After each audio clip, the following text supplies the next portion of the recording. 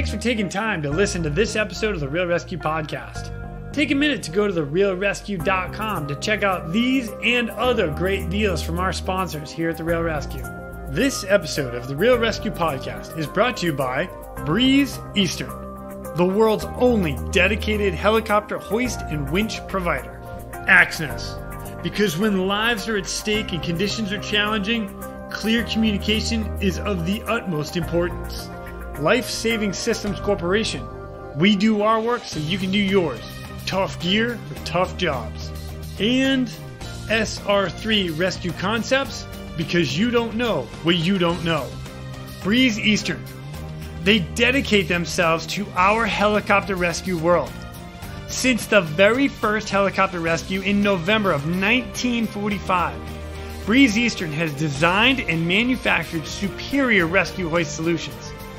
While much of the technology and the unique mission requirements have changed over the past 75 years, their commitment to the rescuers, the operators, and those being rescued has not. Contact them today by visiting them at breeze-eastern.com. The Axnes PNG wireless ICS system can bring cutting edge wireless intercommunication system technology to any aircraft. The PNG system can be fully integrated into an existing ICS system or can be carried on and off as a mobile base station. They can go anywhere at any time on any aircraft. Plus, with the strongest and most robust waterproof handheld on the market, this system can take a hit and keep working. Their wireless intercom systems are designed to enhance situational awareness through improved communication capability. This system brings superior noise canceling technology to eliminate rotor wash and engine noise from your ICS. The Axnes PNG wireless system is currently deployed in more than 1,800 public safety, air ambulance, and search and rescue aircrafts worldwide. I have personally used the Axnes system in four different countries and on five different airframes. It is awesome. If you want more information, contact them today at axnes.com. That's A X N E S dot com. You just make sure you tell them Quinny sent me. Life Saving Systems Corporation. They manufacture the world's toughest helicopter rescue gear. From my favorite harness as a rescueman, the Triton harness, to the rescue baskets, the litters, and of course, the most popular hook in all helicopters, the D-Lock. The team at LSC will cut bend, sew, weld, and machine these products into existence every day. We do our work so you can do yours. LSC. Tough gear for tough jobs. Check them out today at lifesavingsystems.com and follow them on Instagram at Rescue Gear. That's at R E S Q G E A R.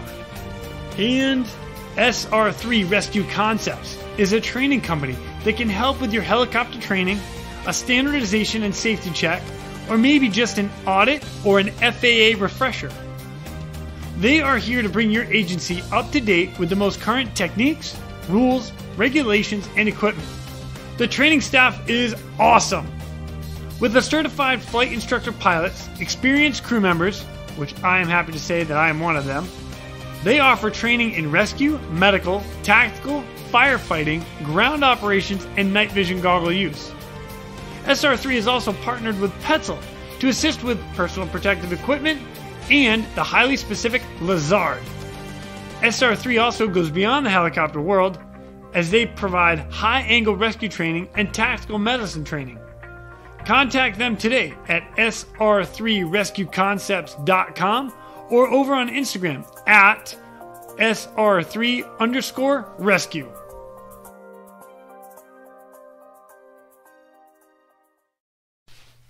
Up next, we've got more amazing stories coming to us from Ireland. CHC and the Irish Coast Guard, they never cease to amaze me with some of the stuff that those guys do. So please welcome our next guest, Mr. Keith Carolan. My name is Jason Quinn. I am United States Coast Guard Rescue Swimmer number 500. These are my rescues and rescues from those of us that put our lives on the line every day so others may live. This is the Real ResQ Podcast.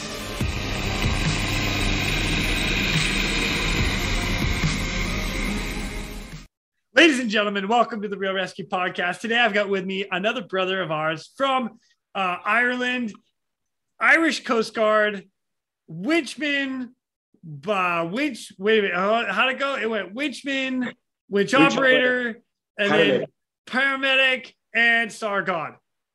No, I'm just kidding. uh, you know what? That's for everybody else in Ireland that has to work with you. You're yeah. welcome. Yeah. Thanks very much, Jason. Yeah, yeah. I told you to leave that part out, you know. You I don't know. There's not too many Sargons on here, you know. I don't know what you're talking about. It was, it must have been a delay or something. Or you, you cut out for a second and leave that part out. What? Uh, Keith, thank you so much for coming on. I, I'm very much looking forward to talking to you. Um, you and I have been in communication actually for gosh, almost a couple months now and trying to set this up. So the fact that we are here now, I'm I am totally pumped. So welcome to the show. Thanks very much, Jason. As you know, we, yeah, we have been in contact with each other. I've been trying to avoid it a small bit and then got, got into it. But yeah, really, really love it. Really love what you do. And as I said to you earlier on, the people that you have on, uh, it's the people that you have on that make convince me to come onto it because they're they're so good, you know, the the, the, the, the mix of people, the, the variety of jobs they do. You know, somebody somebody had to do this, and I think you're the ideal guy for it because you just have the right you have the right balance of everything. You know, you, you've been there, you've done that, you have the t-shirts, you have the badges and patches, and uh, yeah, look, I'm, I'm really excited about this. Really, really, really happy to be on. Thanks very much for inviting me. I really oh, appreciate it. Kid me, it's my pleasure, man. I, I I'm totally stoked. Like I said, I mean, you and I have been talking for so long. It's it's about damn time. That's all I'm going to say to that. All right, leave it at that. All right, Keith. So for everybody else that doesn't know you, if you don't mind, just give a little bit of an uh, introduction to us, um, a little bit of background about who you are and how you got into search and rescue. Okay, no problems. Uh, as Jason said, my name is Keith Carolan. I'm old. I'm a married man with two kids. I live in Dublin in Ireland. Um, my career started when I joined the Defence Forces, the Irish Defence Forces, in 1987. Um, and to everyone's surprise, I went into the medical corps.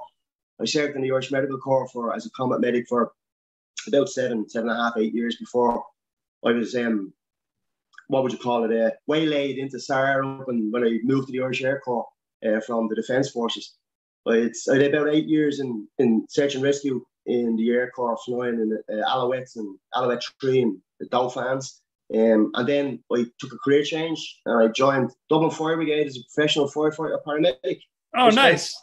I spent 12 good years with Dublin Fire Brigade until I was brought back to the dark side of search and rescue. Um, and I moved back to work for CHC Ireland, um, who are contracted to the Coast Guard uh, to supply search and rescue in Ireland. Uh, flew S61s initially, and then when we upgraded to 92, I upgraded to 92 as well. I've been working here for close to 10 years. Uh, eight of those years was out of the Waterford base with Rescue 117, and the last two years have been with Rescue 116 in the Dublin base. So nice. So, uh, yeah, you know what? Actually, that that brings up a kind of a question for me. Like, and I follow you guys on Facebook. As far as the Irish Coast Guard and stuff, you guys have so it's 115, 116, 117, 118. Yeah. And 119. Is there five? No, no, no. There's only four of them. Um, oh, four. Okay. Five aircraft, but when the spare aircraft comes in, it it, it, it takes up the call sign of the base it goes to. So the bases are we've got 115 in Shannon, 116 in Dublin, one one seven in Waterford and one one eight up in Sligo up in the northwest. Yeah, got it. So, so they're, basically, they're, all four corners of all four corners of Ireland are covered by the by the Helens. Yeah, and, and, you guys cross paths all the time. You're yeah, yeah. We, we, we, do shifts. We do overtime shifts in the base. I mean, yeah. we, we if one of the aircraft's offline or one of the aircraft's out doing a job, we'll go into another patch. You know, we're very familiar with each other's patch. Ireland's nice. a small enough country, you know. Yeah. Um, so yeah, so yeah, we can we can cover almost anywhere in the country in about I'd say an hour or so in the country, you know yeah, how nice. you get you. you know? So it's yeah, it's good. It's small, compact. Yeah. Group. There's only at the moment there's, there's 30 there's 32 rear crew uh, technical crewmen um, in the company. So and it's always was small. In the Air Corps when we were in the Air Corps, we had a small band of 22 of us. You know. Oh wow. In the defense forces, yeah. So it was a small small sort of elite unit of 22 people who did, who did the job in, in, in the in the Air Corps. And we didn't consider ourselves elite, but um, we liked it. You know, we are flying in little Alouette threes, and then the Dauphins, single engine to double engine. You know, Yeah. uh, Alouette had a had a pneumatic hoist with seventy foot of cable. which what? Oh man. Yeah.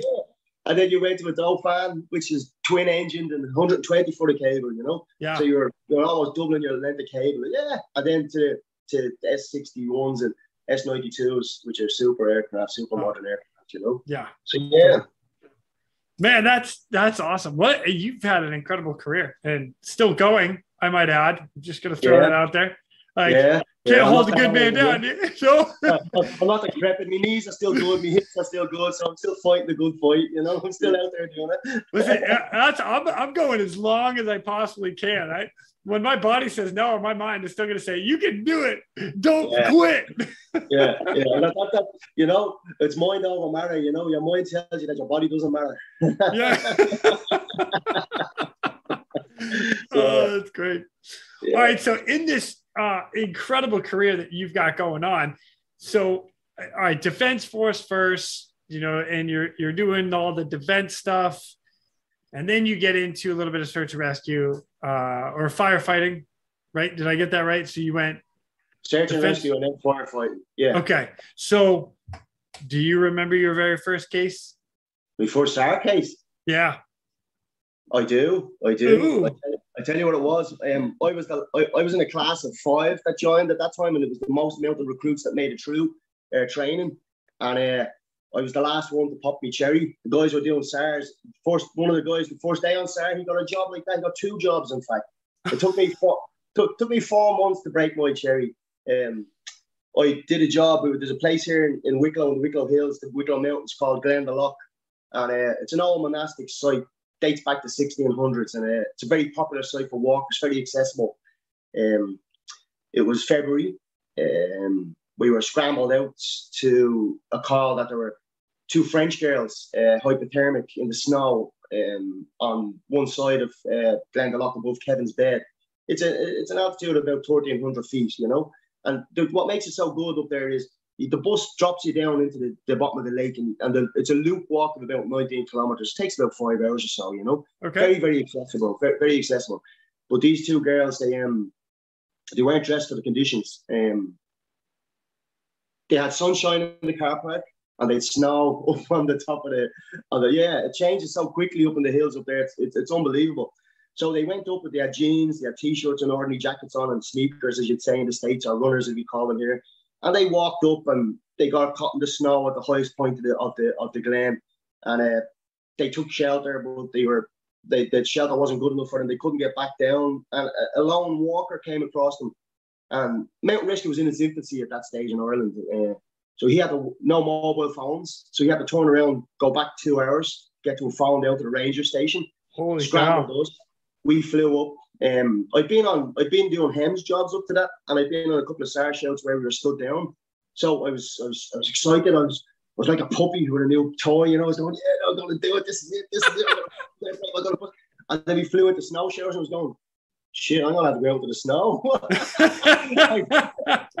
Language. It's to be cold out there. I better start getting the kit on, the proper kit on. So I was putting on my heavy weather kit. And I was, um, so we got up there and anyway, we, we the guy had said that he, he left him with a survival bag.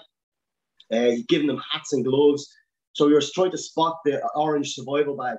And uh, we we done a little recce. We. Uh, the winch operator that was with me was a guy called Dick Lynch, and the pilot was Dave Flaherty. God rest his soul. Dave passed away in the Dauphin crash in 1999 in Ooh. Tramore. And he was one of the pilots. Very, very nice man. Very good pilot. Dick was in it. Dick, Dick was one of them salty winch operators, you know. Yeah. Has done it all, seen it all, you know. This is only another rescue to him, you know. Although top of his game, totally. Um, so, so between us, we found him, and anyway, Dick says this is going to be a winch, Keith, and I was going, yes, yes. Inside, I was going, yes, yes, yes. I got a winch. I got to do a rescue. and outside, I was, I was Mister, Mister, Mister Silverman, you know. hey, you gotta, gotta keep cool. You gotta keep cool. Come on. Yeah, I, I, I can do this, Dick. I'm a professional. Yeah, I'm really professional. I can do this, Dick. You know. So, so down I went. Took an initial assessment of the two girls. Decided that yeah, they were going to the hospital. Um, so winched the two of them into the aircraft. Small little Alouette. Remember, it's a tiny little aircraft. Got them into the aircraft, and then Dick being Dick, um, I was the new guy. I was the I was trained up to EMT level at that stage. So so Dick just sort of sat in front of the aircraft, looking out the front of the aircraft, and left all the patient treatment to me. so I, I, I basically, I, I, did what I had to do. You know, took off the wet clothes, wrapped them up in around blankets, wrapped them up in um, in dry blankets uh, as much as I could. Put them both into survival bags. We had a Propaq at that stage, no no defibrillator. So the Propaq, I was trying to get BPs off them, I was trying to get pulse off them, I was trying to get uh, temperatures off them. Um, got them to the hospital and then anyway, dropped them at the hospital. Uh, dropped them in, dropped them into St. Vincent's Hospital. A helipad in St. Vincent's at that stage. Came back to the base. And um, well, not that I was expecting high fives all over the place, you know, and yeah, yeah, yeah, you know. But uh, I back to the base and there was nobody there. I couldn't tell any any guys that were in me that you know done my first job. Uh, could no mobile phone. I couldn't ring my wife. So that evening, I didn't. I didn't tell my wife that evening. It was a 24 hour duty. So the next day, I got home and she says to me, "Well, how did your day go?" I said, "Cool and calm with a cup of tea." You know, yeah, I did a rescue yesterday. Two two French girls off Glendalough. You know, and she goes, "Really?" And I went, "Yeah, it was amazing." and I was hugs and high fives and kisses and yeah, and that that Uh, and to this day, to tell you the truth, I couldn't tell you what those two girls looked like. I couldn't tell you what they were wearing. I couldn't tell you anything about it. I just thought that that, that was my first job. And, and you were two 20 year old French students. And I was I was only young as well. I was, I was 27 or 28 at the time. Couldn't tell you anything about them. Nothing. Couldn't even I couldn't even tell you what height they were, what they looked like. Nothing. I was just so thrilled to get a SAR job done. It was woohoo. oh, God. oh, that's fantastic. and, and, and, look, it was Alouette 197. Uh, that was its call. So that was it. That, that, that was the, the, the, the tail number of it. We were Rescue 110. And uh, that when he stood down the Alouettes there a couple of years ago in the air car, I was up there and I got my photograph taken with the helicopter before it went away. Um, uh, they, they all, most of the Alouettes were, were, were sent to museums and stuff like that. But yeah, 197 always had a place in my heart after that. You know, it was my aircraft as I considered it. So, oh, yeah. that's awesome. Yeah. what a good case too, because it's like it, it's that it's it's it's what we do and why we do it. The outcome came out all right, and to, to even think about those girls. So those girls hiked up. They you figure they got about it took about two hours, two and a half hours to get to up to location. They yeah. get all cold, trying to hunker down. They had to wait for somebody to show up, which was a two-hour hike for them. Then yeah. for them to hike two hours back yeah. down, then yeah. to alert you guys, then you guys fly out. Oh, they were up there for a long time. Yeah, yeah. Only, only for the only for the guy came across them, I'd say they would have passed away. You know, they would they would have they would have died of hypothermia. Well, quite a heavy snowfall um, came, and February it's February, so yeah, you get snow in Ireland in February. You know, they uh, they, they were Erasmus students, so they were all students, so they rode for a couple of months. Um, uh, they, they, they didn't know the area, they didn't know what they were doing, they didn't know the conditions could change so quickly. But the walker walked that loop every day, so he knew. So he had his backpack on, he had he had his he had his equipment. He he gave them. He actually he had they put the two of them into one survival bag. They were they were slim little girls. Yeah. Uh, he gave them extra hats. He gave them gloves. He gave them food. He gave them um, his hot coffee to drink. You know what I mean? He wrapped them up. He put them in a position where he told us exactly where they were, above Kevin's bed. Um, everybody knows Kevin's bed in uh, in everyone, everyone who does SAR, everyone ever walk in Glendalough, uh, everyone who's ever in the military knows knows where Kevin's bed is in Glendalough, you know. Yeah. So that's where we were. They opened Kevin's bed, and and he walked back down and got to the ranger station, rang us, and we, we in the Alouette we were only down to dusk SAR as well. We didn't do night stuff, you know. Oh, didn't do night okay. Yeah, until we got the Dauphin, we didn't do night stuff. So yeah, so the so you guys are actually on the clock, like you're pushing. Oh yeah, yeah to get up there before nighttime. Yeah, oh wow! Yeah, yeah. Dang man.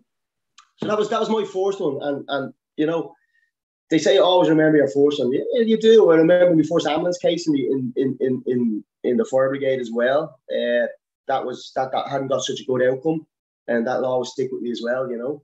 Um, I remember my first fire, remember my first fire in the fire brigade as well. That that that was a that that was a good fire.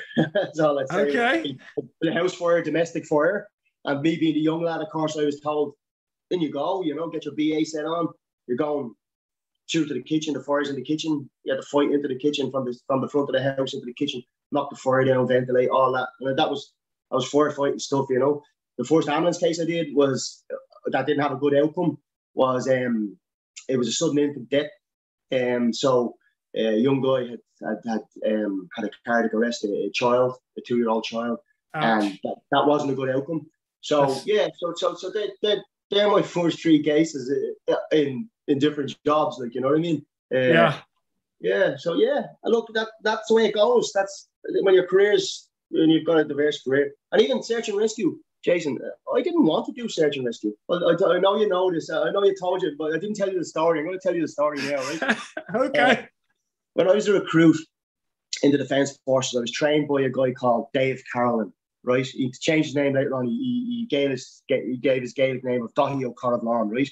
And because his surname was Carolan and my surname was Carolan, the first word out of his mouth when he wanted somebody to do was recruit Carolan. That was me. Recruit Carolan, recruit Carolan, recruit Carolan. so we have a saying here that he rode me like a Blackpool donkey, right? You know, so you know the donkeys on the beach, yeah, they get work like so that that's what happened to me during recruit training.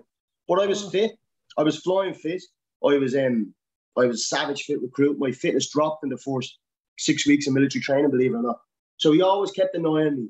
And uh, I stayed friends with him. We were good friends. And um, he was training me for special forces. He was an ex special forces soldier. And he, we was training me for special forces for the special forces selection. When I broke my leg playing soccer, um, I, I broke my leg in five places playing soccer. And that put the special forces team to bed for a year or so. But eventually, from the medical corps, I, I transferred up to the air corps. And I was in training wing um, up in the air corps, which which trains all the, the, the soldiers, trains all the recruits, trains all the airmen in basic basic military training, basically. And uh, Dave used to work there before he went to SAR, and he took me for a flight in one of the Alouettes. And I went up, and there was a lot of nap of the earth stuff, and I got back, and he was all excited, and he was going, he was, you know, what do you think? What what, what do you think about it? I went, ah, it's all right, you know. would you would you think you'd be into it? He says to me, he said, no, not really. I said, I want to do my NCO's course, I want to do my all weapons course, I want to get overseas with the UN. And I have no interest in SAR. And when I joined the the, the medic the training uh, group up there, my boss was a female female officer, a very nice lady called Paula O'Riordan. And she brought me in to interview me. She says, You're only here to do SAR, aren't you? I said, No, no, no, ma'am. I said, No. I said, I'm here for training wing. I'm here get me career courses, to get me weapons courses, to go overseas, all that type of stuff.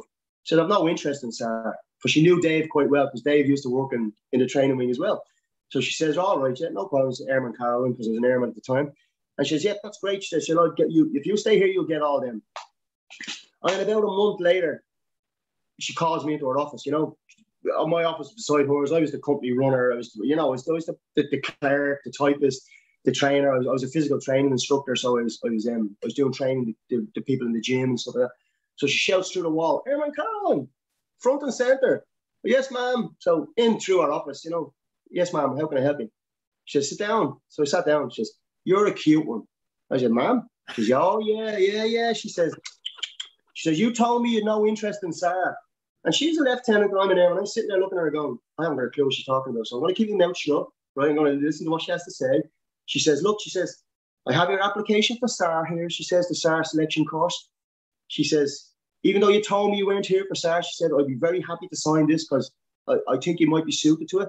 She says, but if, if, if, if you don't pass, she said, it's a very high failure rate there. She says, I would be more than happy to have you come back to this unit and do what you want to do. She says, because um, somebody you're whatever she said, I won't blow smoke on my own bum, but she says she was she was happy to have me back, right?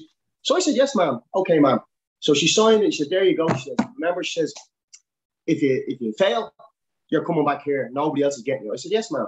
So I stood up, stood to attention, turned around, walked out of the office and says, what has just happened, right? Because I never, I never filled out an application form. So I'm sitting there and I'm going, that's coming around. You had a tea break. The Defence Force sort of has a tea break, you know what I mean? And yeah. Dave I think we call it a coffee break in America. So, coffee break, yeah, yeah. Yeah, yeah, so, yeah, yeah, tea, whatever. I'm a yeah, tea guy. What can I say? Yeah. I'm with you. It was at 11 o'clock in the day. You went for tea break, right? Yeah. So Dave, Dave's head pops around the corner. He says hello to all the sergeants there that know him and that. And he goes, he goes, Keith, he says, he says, any news? I went, no, no news, Dave, you know. He said, no news. I said, yeah, no news. He says, you going for tea? I said, yeah. So as I was walking down, he said, no news today. I said, funny enough, I said, I said, I've been accepted on a SAR course I never applied for.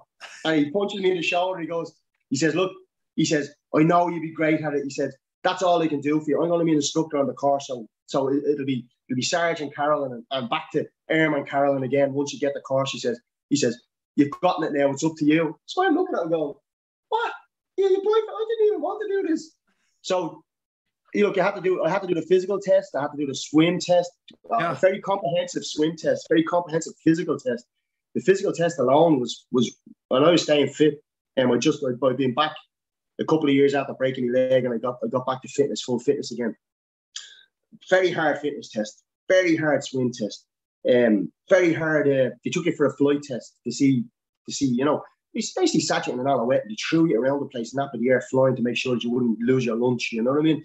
you know, simulating turbulence, you know, yeah. doing um doing auto rotations the fields, you know, practice auto rotations in the fields and stuff like that. And then standing at the door and part of your swim test was you stood at the door and you jumped out of the alouette and about 20 foot into the into the sea. And you did that twice and you winched out and um, you did jumps off bridges into rivers and swims, rescues, all sorts of mad stuff. But yeah, yeah. So I never applied for SAR course, but when I went up to it and I started it, uh, I loved it. Yeah. I, I just I loved it. it. It just got into my skin and I adapted to it and I took to it like a duck to water. It was it it just became like second nature to me. You know, winch up and became second nature to me.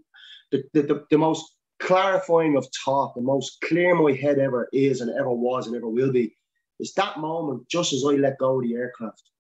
No matter what aircraft I've ever been in, just as I lose contact with the aircraft and I turn to go where I'm going, yeah. my mind just goes zen. Yeah. And it just focuses in and tunes into everything that's happening around me. It's like I can hear things, see things. It's like the best rush I've ever had for control. And and that's the way I describe it to people. And that's that's what the, that that's what made me go back to search and rescue, just in search of that zen and that that that that level of focus, you know. You know, that is a great like description of it. And I'm actually glad you said that because that just tells me what I'm feeling every time I go out the aircraft. Hanging from the hook, whether it's a free fall, whether it's just hanging below the aircraft, there's there's something about it. And I actually, you know, I just finished a training not too long ago, and in it, uh, it was a buddy of mine I hadn't seen in like 10 years. And as we're talking, he's like, you know, I've always respected you guys as swimmers. You know, you come in and we'll joke around. And then when it comes to go time, it's like, you turn it on and you're like, okay, it's time to be serious. It's time to time to turn this on. Let's focus, execute, be done, and then we can joke around again. That's that's, it. You, you, know, you know, I'm a bit of a joker from from the I like I like to have a bit of a joke and a bit of a laugh. But like when it comes to doing the job, yeah, I like I like a bit of a laugh in the helicopter as well. Yeah. I'll tell you, I'll tell you, I'll tell you, I'll tell you a little story of jumping in the helicopter and then boom, professional. A good buddy of mine, uh, probably one of my best buddies. Uh, we went through our SAR course together. He came from the Navy, from the Irish Navy to the Irish Air Corps. Uh, Dermot Malloy is his name. And uh, we were in the we are in the S92. And the S90, the particular S92 we were in had two floor straps at the door and one to the rear. Whereas generally the others only had two, right? So I had three, not two. So part of your part of your pre-door opening is you check harnesses, everyone's on harness, you know. Check here to open the door to the pilot. They say if, if your harness is secure, clear to open the door. You open the door, door's open and secure, right?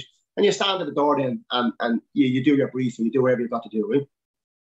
So I've done all that and uh, I opened the door and I'm standing at the door and uh, Dermot's standing behind me because he's my winchman of the day. He's, he's dual rated as well.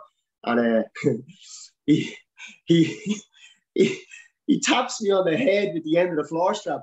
And I, I, I looked at the end of the floor strap and I'm thinking there's only two floor straps in the aircraft, so I'm not secured. So I jump backwards and I'm, I'm, I'm sort of sitting near, nearly in the winchman seat and I'm looking for my floor strap and I feel, I feel that I'm connected, you know. But he's waving the third floor strap at me and he, he just to see what the look on my face. And I'm back there. I nearly, I have to tell you, I nearly crap myself. I, nearly had, I nearly.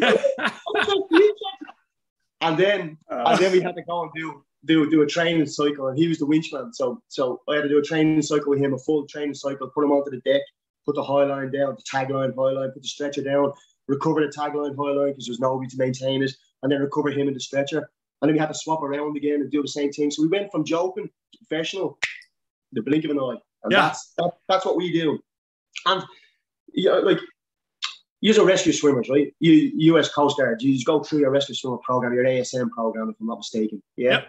Correct. Okay, there you go through your ASM program, and you become rescue swimmers. And here in Ireland, we're not we're, we're not rescue swimmers. We're, we're winchmen, and we do swim in the water, but we don't do we do all static deployments. We don't disconnect from the hook, so we can swim, but we stay static, stay, stay statically deployed. And that's just different. And different folks in Europe do different ways as well. Uh, we do static deployments, and uh, they're all static deployments. Everything is static deployment. There, there are cases where people have come off the hook and to do jobs. Like I know people like uh, a friend, a friend of mine, Alan Gallagher, came off the hook to swim to the back of a yacht to get onto a yacht. And a friend of mine, Jim O'Neill, came off his hook to save it. Uh, uh, believe it or not, I think it was a five-year-old girl who'd been washed out to sea on a unicorn, and she was a mile and a half, two I'm miles sorry, off. a unicorn? Yeah, Like know one of the inflatable unicorns?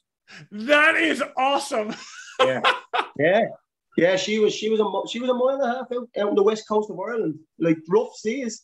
Headed Uh, to America. Come on. Yeah, yeah, that's it. She's pedaling. Next, next, stop, Alaska. You know, and and you rescue swimmer guys coming out together.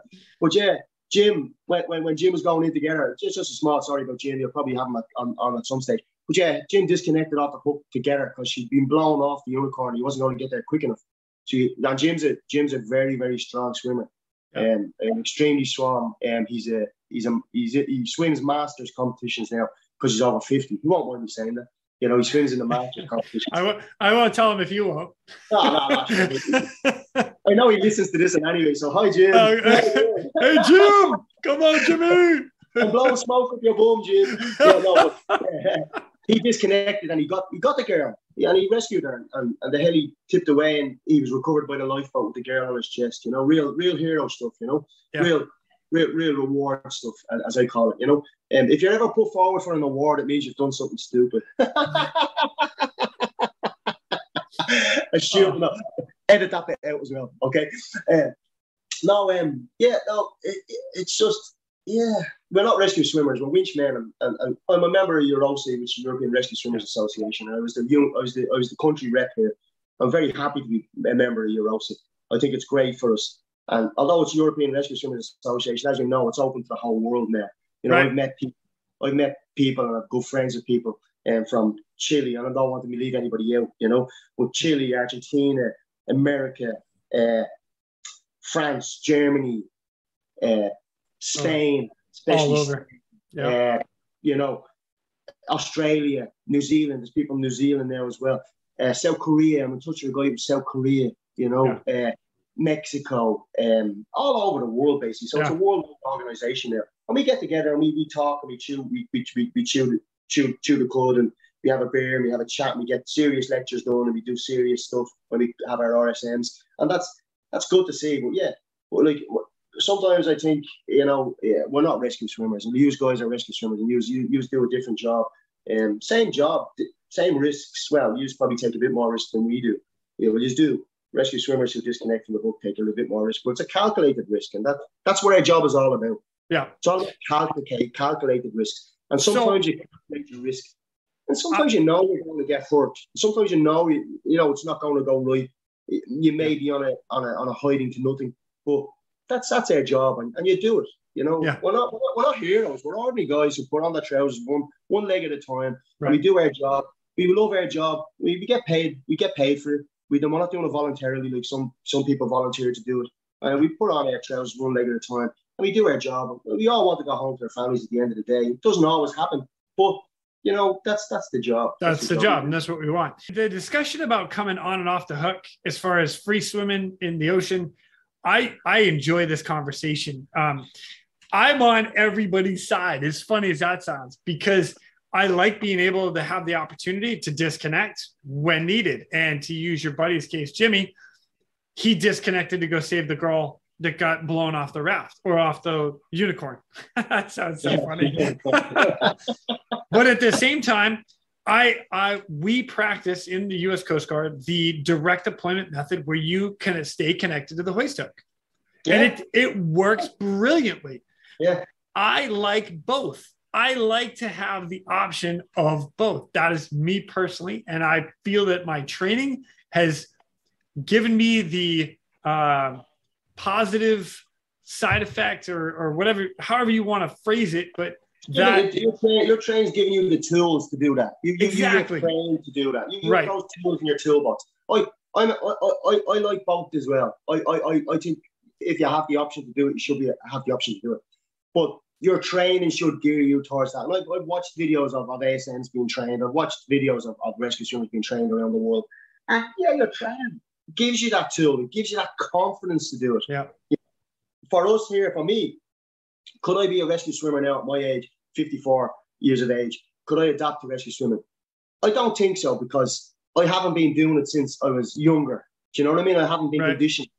I, but, but I can swim and I can swim. I can swim well enough, you know. Am I going to be swimming in 12 foot seas out in the mid Atlantic?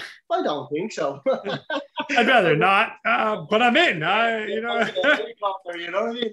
Of course, but yeah, I, I, I, I don't knock it. I'm not knocking it. I'm not knocking what, what, what the swimmers do. I have high respect for people who, who, who, do free swimming. Really high respect for you, you know.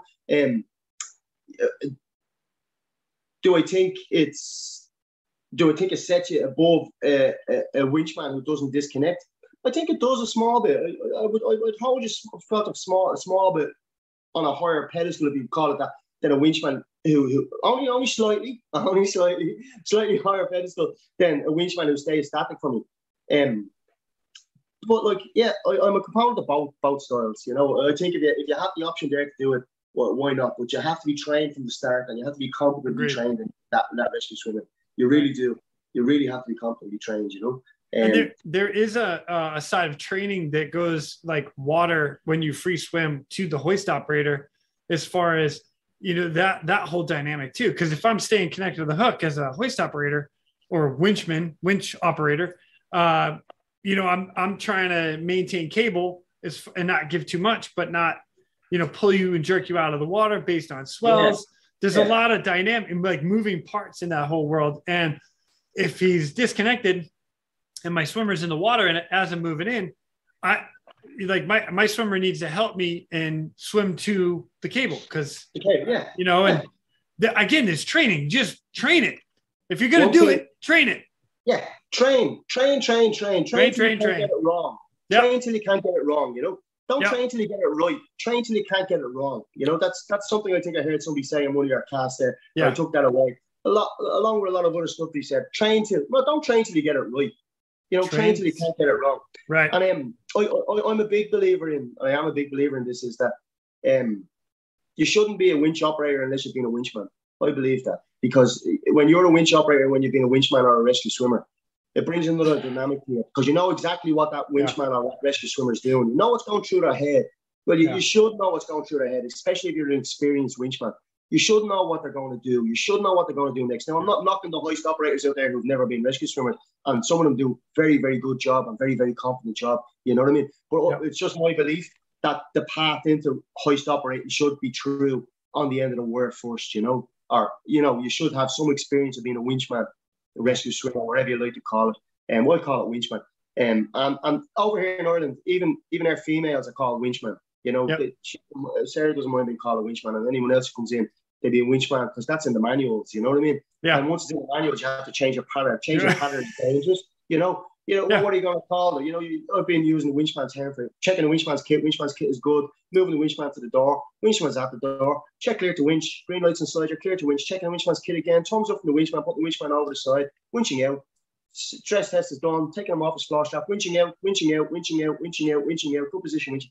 It's winchman. Winchman. Winchman. It's it's it's That- uh, that's really good by the way it's like you've done it once or twice Only once or twice, I think, and practicing in the mirror, you know. but I started it. it doesn't sound like that in a helicopter. Like, oh, ooh, uh, uh, ooh, uh, helmet fire.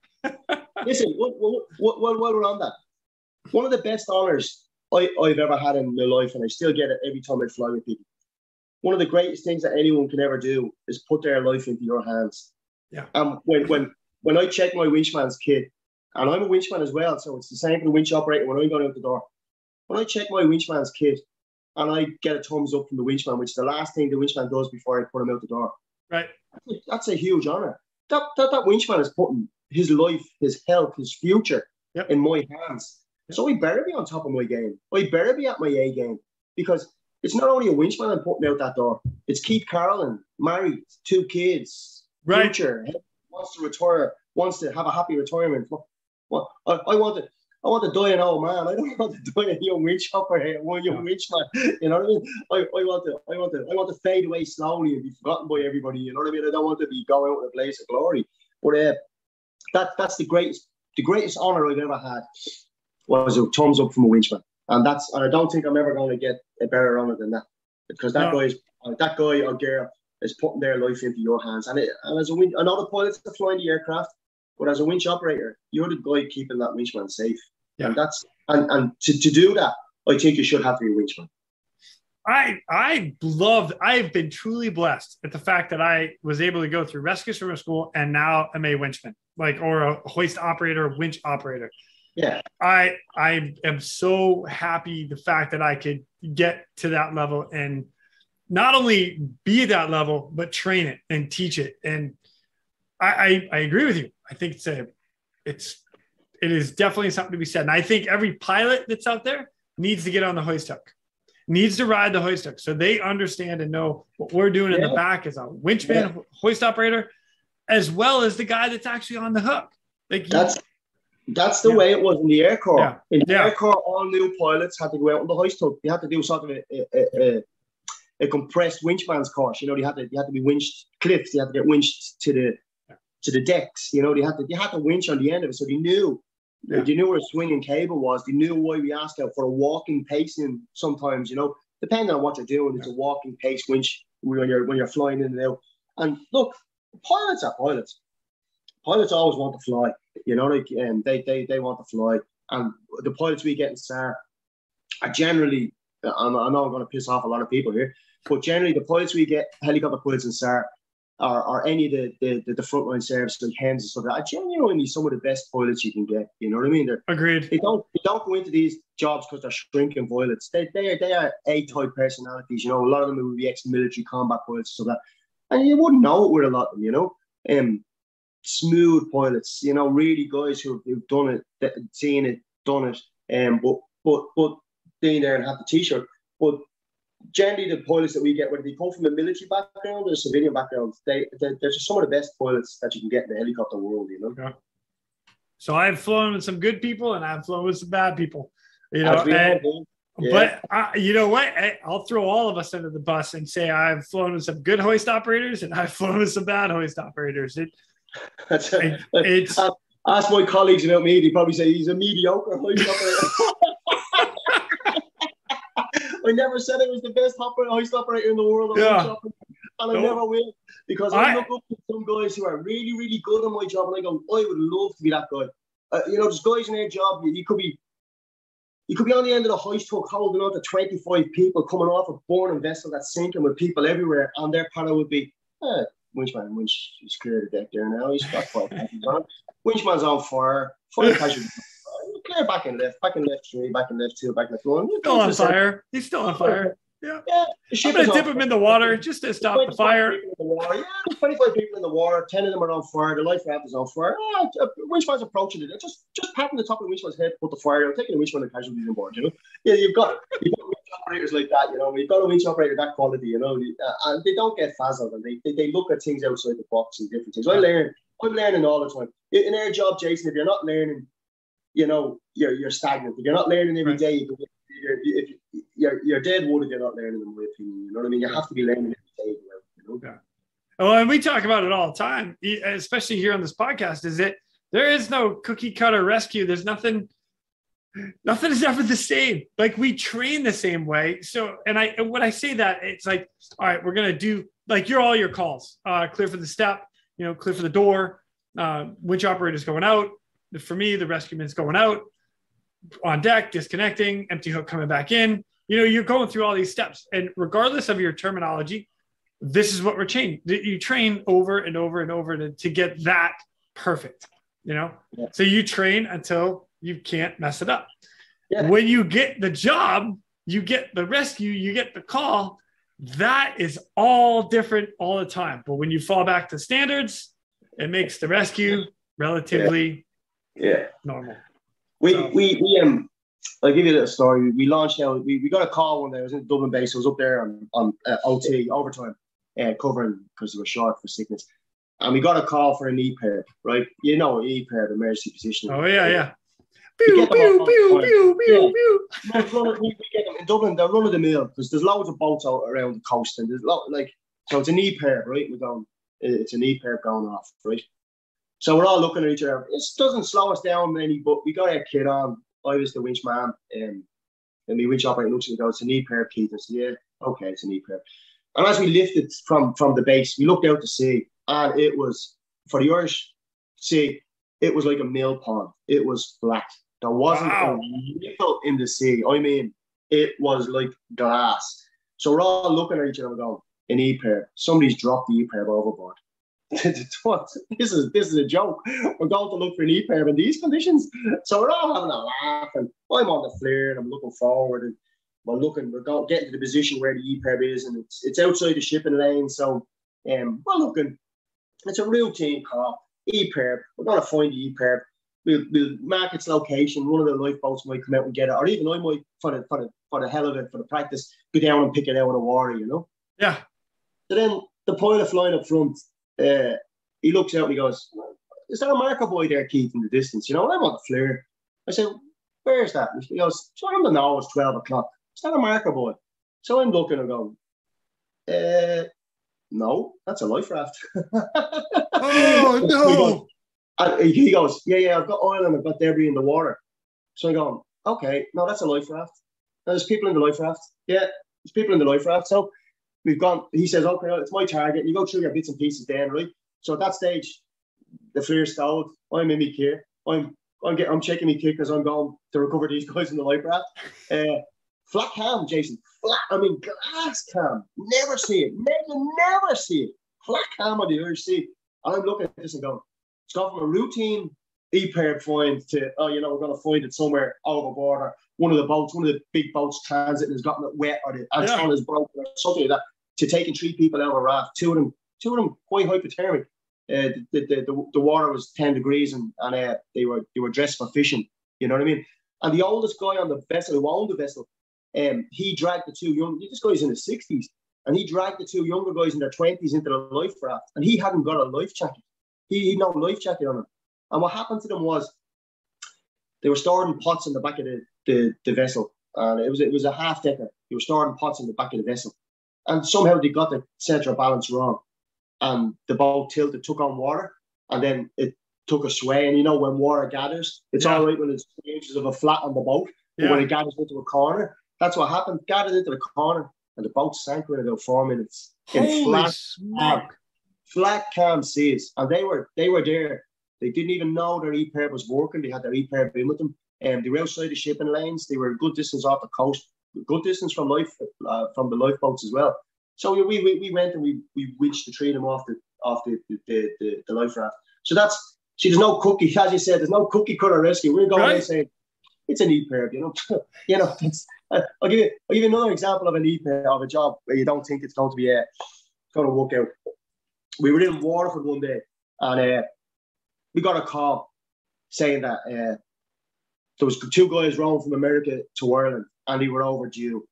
And there was an EPIRB going off in the area where um, they close to where they gave the last radio call. So we it was in our patch, it wasn't in Shannon's patch, down way, way off Kerry, um, extremes of our of our of our range. So we flew to Castletownbere and Cork, refueled in Castletownbere and Cork, and tipped off the coast. Um, off the coast of Kerry, great views of Skellig Michael as, as we flew past Skellig Michael. And basically out in a straight line out looking for the EPIRB. So we got out to the area where the EPIRB was and uh, where the signal was supposedly coming from. We, we couldn't pick it up. Um, it'd been picked up by a satellite and uh, we couldn't pick it up. we went to the datum point and we're having a debate and we're talking about fuel, how much fuel we have left. We're, we're extreme, extreme, extreme range of, of the, the 92 we are, you know. It's yeah. daytime, early early daytime, so we, we've no top cover with us. We don't we don't need top cover. Um, I think Shannon were on we're on standby to be a chase aircraft for us. So we're out there, and we set on the pilot and looking at each other and we're thinking about well, what are we going to do? So well, what we do is we go to the point where the datum point, we'll do a little search at the datum point, and we'll do an expanding box search there. So yep. I said, yeah, okay, Martin, that's fine. That's no problem. All, all automated in the aircraft. So we're there. We're, I'm looking out. I'm the winch man. Oh, sorry, I'm the winch up. So I'm in the winch up seat on the right hand side, on the starboard side of the aircraft eh, there. The winch man, Tommy Gannon, is on the left hand side. He's on the flare. I'm looking. And I'm saying, what type of what type of boat are you in, Martin? You know, again, you tell me. She said, it's a white hulled boat. And I'm looking out to sea, and all you can see is white horses everywhere, you know? white horses. So I'm looking at and going, if, if the out here said it's a needle in a haystack, man, it's a needle in a haystack. And we're having a little laugh with it, you know? An EPIRB. I'm looking for an EPIRB eh, about, I can't even remember what distance we were at. I think it was a, uh, it was a good distance off, extreme range. Uh, an EPIRB. I said, how are we going to find an EPIRB in all this, man? I said, look at it. I said, how are we going to find the boat, let alone the EPIRB? So I'm looking out the right hand side and I see this, the, the sun is glinting on the on, on, the waves everything. We're, we're, we're up at a thousand feet. I see this little glint, and I'm looking at it and going. Mm. So what I do that when them cases, I point my finger and I hold my finger out the window so I don't lose it. You know. Yeah. I get a glint again. I say, man, I think I have something out here. I said, the three o'clock. I said, I don't know what it is. I said, it's it's glinting. It could be just sea shine. And I said, I said, can you come right? So he comes right, and Tommy comes up and looks over his shoulder. He looks, so Tommy gets onto the. I said, yeah, it's definitely, it's definitely man made. I said, I said, it could be the EPIRB. It's just a light on the top of the EPIRB flashing, you know, just yeah, little, little flash, little flash, little, like a pinprick, like. So Tommy gets it on the, the flare, and it's the EPIRB. So you fly over to the EPIRB, and we're looking at the EPIRB, and we're looking down at it. Open the door. Yeah, that's the EPIRB. Open the door. Looking down at the EPIRB. The EPIRB is floating free. And we're looking around. We're looking for debris. We're looking for anything in the water. Right. Nothing. Nothing in the water. Nothing anywhere. So then we we'd had top cover come over to us from the Air Corps, and they said they spotted something five miles from where we were. So we said, okay, there's the U-curve. And Martin was saying, but the way the tide is, Keith, I don't think that I don't think they're up there. So Martin, look, we go up and take a look. So we closed up, marked the point for the for the EPIRB. We went up to where the down point where where we they, they thought they seen something.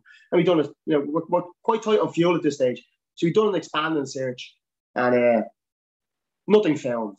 So we decided amongst ourselves, among the crew, let's go back to where the EPIRB was and do a search a mile either side of the EPIRB.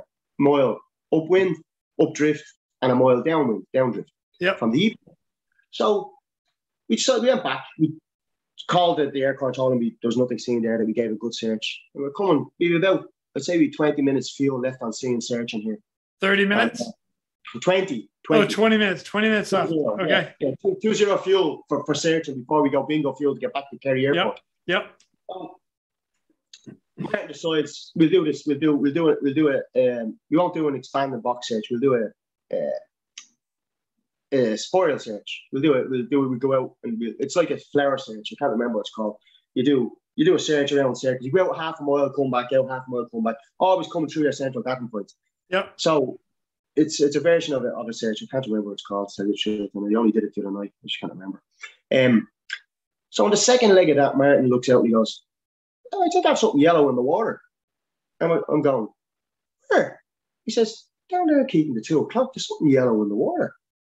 So Martin is very experienced, ex-Royal Navy guy. He, he, has been in the Falklands. He's hugely experienced. So I said to him, okay.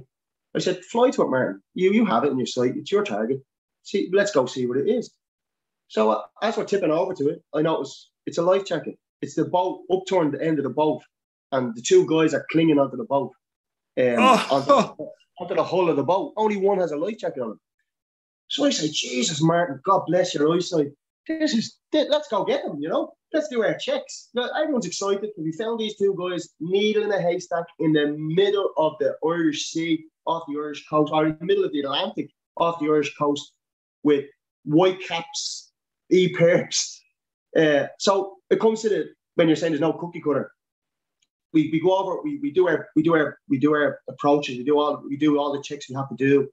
Open the door, Tommy's beside me, waving down the two guys. two guys are clinged onto the hull of the vessel. I can't tell you, you could actually see them clinging onto it. One with a life raft, or one with a life vest on, one with no life vest on. So we go through our brief, and I say, "Does does this?" They have a stabilizing fin on the end of the on the end of the the, the boat, which is about it's about twelve foot high, right? Oh wow, it's big. Sharp. Okay. Yeah 12 foot high stabilizing fin on this rowboat, right? Yeah. So I got clinged quite close to it, and there's debris everywhere in the water around it, everywhere. So I say to Tommy, I said, Tommy, Tommy, look, what I'm going to do is we'll take the guy without the life jacket first. So we we done our brief, we, we talked to the boys, and uh, got Tommy onto the back onto the onto the the, the boat just behind you, man. And Yep. Tommy slips off and goes into the water. He's he's connected. So I, I had enough slack out. Tommy goes into the water. Now the vessel is about so six foot high. The vessel, the waves are about the waves are about eight feet, rolling eight feet waves. So Tommy's there. So I winch Tommy out of the water. I put him back in the same position again. He falls off the other side. I put him back in the same position again on the vessel, all the time on the vessel, all the Yeah. time just behind this guy. And the guys are clinging on, like they're, they are clinging on for dear life. So Tommy slips off again. So I'm teabagging on either side of this this boat. So I say, this this isn't working. I said, hold on a second, I'm going to bring Tommy back up. So I winch Tommy back up into the aircraft, plug him in and say, Tommy, what's, what, what's the story? He goes, Keith, he says, it must have a resin on it because it keeps slipping off it. He said, every time I get onto it, it, it's, I just keep sliding off it. And Martin says, yeah, yeah, it's probably treated with a resin, you know, an anti-slip resin to allow them to slide through. I said, right, well, we have to we have to do this, Tommy. We have to think outside the box here. So Tommy said, I'll tell you what we do. There's not in the manual, but this is what we're going to do. And he says, uh, you bring me down. I'll put me in the water just beside him. I'll give your man the strap. He'll put the strap on him. I'll hold the strap. Yep. Okay. Um, once I give you the nod, which is uh, it's a nod, right? It's Yeah, nod. yeah. Oh, yes, nod, yes. Bring me yeah, up. you Yeah. winch me in, I'll come in, and as I come in, I'll connect them up onto the hook and we'll take them clear. I said, okay, Tommy. I said, uh, it's not standard. I said, but it's the only way we're going to get this dude off. So Tommy, I put Tommy down in the water beside the vessel. He throws the the, the, the yoke up to your man. Your man puts it on himself, goes to the toggle. He's holding the bit out. He's holding the, the, the carabiner out. Yeah. Uh, Tommy gives me the nod. I slide Tommy up the side of the vessel, connects on, which is totally, you know, we don't do this shit. Yeah. This, this stuff, sorry, this stuff. Ah, you're good. So Tommy, T- Tommy gets your man, the first guy clear. Um, he's an Irish guy. Get him into the aircraft, push him to the back of the aircraft. Martin is saying, um, "We're bingo fuel. Near, we're near bingo fuel at this stage." And you still got one more guy down there. Yeah, still got the guy out there with the life jacket. So Oh. Tommy knows he's not going to get this guy into the aircraft with the life jacket on. So he's in the water. Uh, your man can't get the strap onto him with the life jacket on. He can't really understand him because he's a, he's a, I think he's a French Canadian. He speaks French, or he was a French guy. His family had financed this this this this row across the, the coast. They, they, they, were, they were in they were in 200 miles of, of, of Ireland as far as I know when, when the incident happened to them, or 150 miles, something like that. Anyway, off the Clare coast. And Wow. um, what happened then was Tommy, Tommy, your man couldn't get the strap on him with the life jacket. So Tommy said, "What am I going to do here?" I could see Tommy looking. I knew exactly what he was going to do. He's going to take the guy into the water with him. That's what he's Yep. going to do. Yep. So Tommy, even while there was stuff around there, Tommy took the guy into the water with him, took off his life jacket, strapped him, had the strap, he had, had him had him gripped by one hand, stripped the, the life jacket off him. I was keeping Tommy as clear as I could of the stuff. Uh, put the strap on him, recovered him in, in he went. Uh, into the back of the aircraft. The four of us, uh, they're there in the back of the aircraft. We're down talking to the two guys. They don't realize how lucky they are, right? They don't realize how close they've come to dying. They were hours and hours and hours clinging onto the boat. What happened was they become complacent. They left one of the hatches undogged. Um, they were in rough seas. The French guy was, the Irish guy was sleeping below decks. Um, I think it was either the French guy was sleeping below decks, having a sleep, and the Irish guy was rowing with the life jacket on, or vice versa. And they'd taken on water, and then it flipped upside down. So the the EPIRB came away from the vessel. They managed to make it onto the, the and they were afraid to move on the hull of the vessel because they'd slipped off loads of times into the water, Yeah. multiple times into the water. I've never seen two guys eat so much in my life. We had we had we, we had a we, we bring pot noodles with us in hot water because it was a long range job. Yeah. So they ate all the pot noodles. They ate all the chocolate in the aircraft. They and it's that's an example of a non-cookie cutter job. You know, we're going looking for these guys. We haven't a hope in hell of finding them in air in air, in air mines, right? We're optimistic, but we find the E pair. We're going, okay, we found the E pair. Maybe now your chance they're looking good to find them. We find them. Now we've got to get them off it. Non-standard lifts for the two of them. And Yeah. back almost bingo fuel back. So there is no cookie cutter job. And I, agree, I know you always say that, but I agree with that totally, you know. What a story. Oh my God. Well done. Jeez. No, what a good idea, too. Like, hey, throw this on. And on your way. Tommy's experience. Yeah, yeah. Tommy's experience. Tommy's yeah. huge. Tommy's twenty odd years doing SAR, winchman, winch operator. Martin Rayner, pilot, years flying. Um, Sea Kings, um, 61s, 92s, and myself a few years doing SAR, a few years doing bits and pieces, and a, and a very young uh, new co-pilot who was hopefully taking all this in and learning from this. But yeah, and, and that was it. That was a huge. That was that was a crew job. You know, that was every yeah. single person was on point. Every single person was switched on. And do, do, you know? Do you know what made that job successful, Jason? Luck, pure luck. And I mean, look, the look of the Irish, the look of whatever. I like the look the Irish. Come on. We were lucky. We were so lucky. 90% of that job was luck. It was pure luck finding the EPIRB and then pure luck finding those two guys. And they're walking this earth to this day, and they just don't know how lucky they are. They probably thought we just flew straight to them and rescued them. It wasn't like that at all. we, were, we, were, so lucky to find them. And a lot of rescues are like that, as you know. Yeah. yeah. Sometimes oh, yeah. you know, like you, I think you tell the story of the girl was on who um who fell walking and broke her back and her pelvis. Yes. She was lucky. She was oh, lucky yeah. she prepared. She made a little tent with her with her map and she had her signal up and the guys were searching for her. She was lucky. Yeah, Claire Nelson. Yeah, that's her. Yeah, yeah. Amazing story.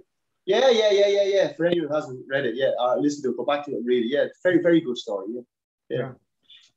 Gosh, well, shit. Thanks for sharing that one. That's that's something that would stand out for me too. Like, good lord. Yeah, no, look, that, that's that. And Martin's retired now. Um, Martin retired last year, and that's that. He, he said that that's when that law was stick with him was that was that job, you know. Yeah. Um, off off the coast. It was a good job. You know, he came home.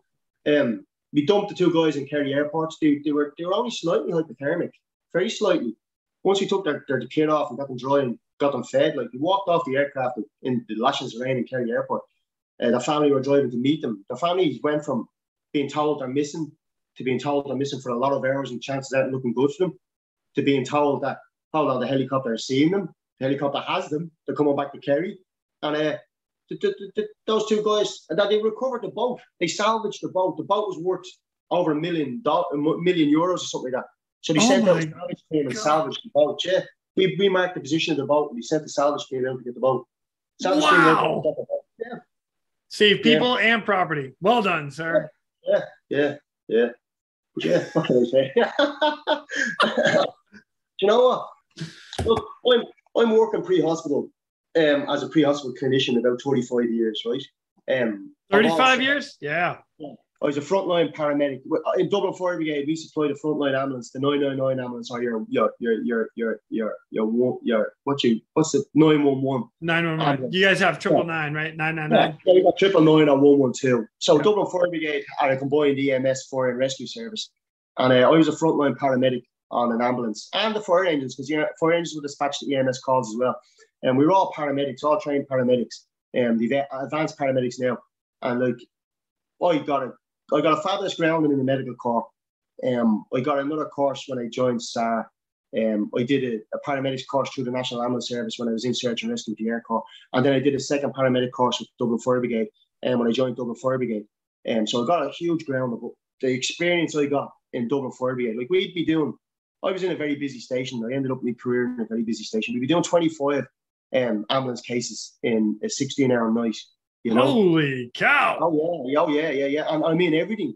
Uh, we a plethora of everything. You know, we in our area we had we, oh the, I was listening to the guys talking there. We, we we had the old ladies at night. We had the nursing homes. We had the stabbings. We had the shootings. We had the car accidents. We er, er, er, we did heavy rescue as well. Like um, I'm a trained uh, swiftwater rescue technician. I trained yeah. rescue training.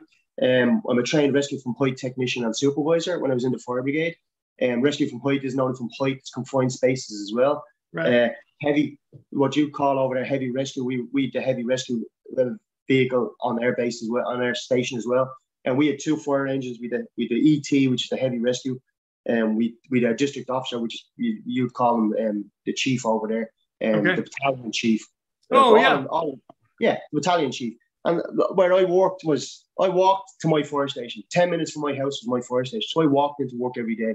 So he's dealing with army community. But yeah, yeah. I've, I've, I've, I've, I've got a huge amount of experience of cardiac arrests, broken legs, broken ankles from football, you know, broken noses, cuts and knives and at home, and you know, huge uh, medical stuff like medical, like diabetic, diabetic, diabetic coma, um, COPD, uh, all the all the normal run of the mill stuff. Not you know, EMS stuff is is, is 90% are run of the mill calls and, right. you know, drug alcohol cases.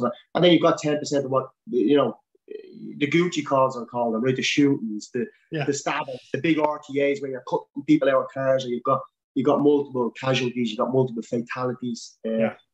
big fires uh, where you've got um, people burned. You know, it's it's they're they're uh, EMS people are strange. You know, they're the type of calls we want to be doing, even though we don't want to be doing them. We want right. the run of the mill calls. You know, yeah, yeah, yeah.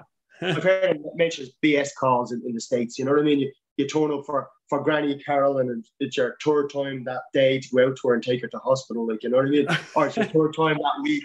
She's a frequent flyer. yeah, know? yeah, yeah. You get them all, but yeah.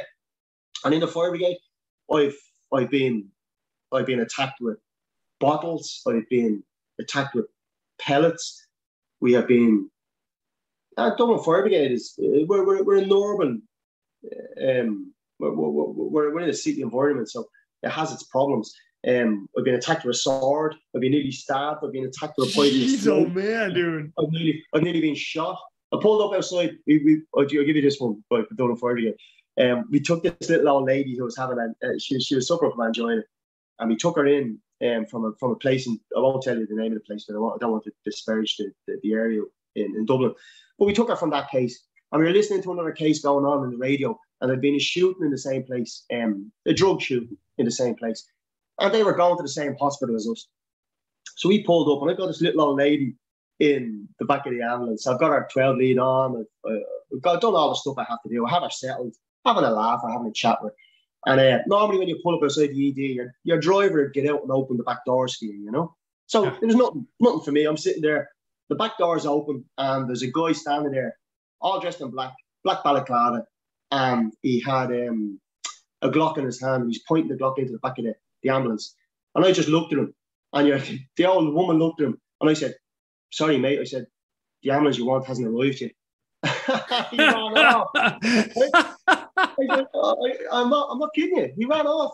So the driver then came around and said, Who opened the door? I said, uh, There's a guy with a gun after opening the door. And he went, No way. I said, Yeah. And uh, he looked at the old woman. The old woman says, Yeah. So he brought, we brought her into the A and E, and of course, the the three ring circus arrived at the guy who was shot. Right. So the, the police were in, the armed police were in, the ambulance arrived, the motor, the, the fire engine that backed them up arrived. The place is bedding with people all over the place. They, they bring him into the resus. They're trying to resus this guy. So I'm standing there with, with the old lady waiting for the triage nurse to come to me. And uh, I said to the driver, hold on there, let's just go over and get this guard. So I went over, a plainclothes guard, gun on his hip. I tipped him on the shoulder and said, yeah. He was on his phone. He said, I said, can I have a word with you, you know? Um, yeah, cop, like, you know, the cops. And so he looks at me and goes, which in a minute, which in a minute. He's on his phone and going, okay, no problem. So I went back to the lady, handed over my, my casualty, and uh, went down to the ambulance, tidying up the ambulance, and said to the guy that's with me, said, I'm going to go back in and just set, mention to somebody what happened, you know? Yeah. So I went back into the same guard again and tipped him on the shoulder, the same cop. We call him guards. The guard E here, guard of yep. corner, guard is the piece. So I tipped him on the shoulder, says, so can I have a word He goes, yeah, yeah. He says, well, you know, can you make it quick? I'm busy. I said, oh, yeah, yeah, no problem. I said, when we pulled up just ahead of you, as I said, there's a guy opened the back door and said, pointed a gun into the back of the ambulance. And he goes, what? I says, yeah. He said, when did this happen? I said, about 25 minutes ago. He goes, ah, why didn't you tell me? I said, I tried to tell you. I tipped you in the. I asked you. You told me you were busy. Go away. So that's what I did. I went away. I came back to you now. I'm telling you now. He goes, where, where did this happen? Is there cameras outside? Get the security. Get, get this. He said, which way did he run? What was he dressed in? I said, I said to him, oh, now you're interested. Not the fact that he pointed a weapon at it, it's just now you might be able to catch the dude. Is that it? So uh, I had a bit of attitude with him because, uh, uh, you know, I was annoyed. This guy had a point the gun at me and nobody gave a shit. Excuse my yeah. language.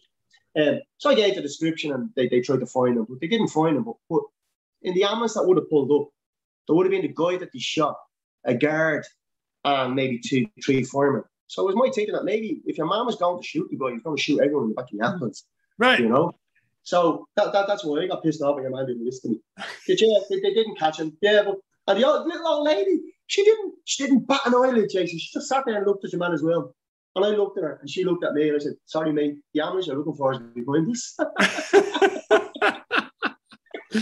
oh my god.